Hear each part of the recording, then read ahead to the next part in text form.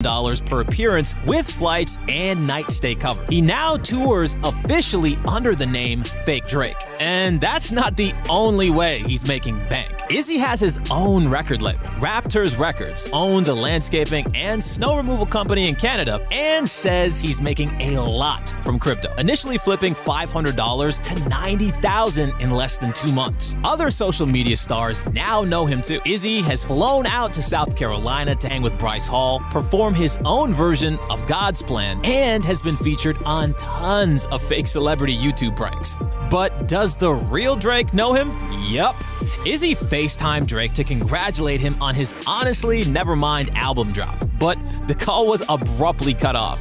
So, how did Izzy even get in contact with Drake? According to Izzy, through mutual friends. And he said Drake doesn't care that he's his famous doppelganger, saying, Let the guy get his bag, doesn't affect me. But this is all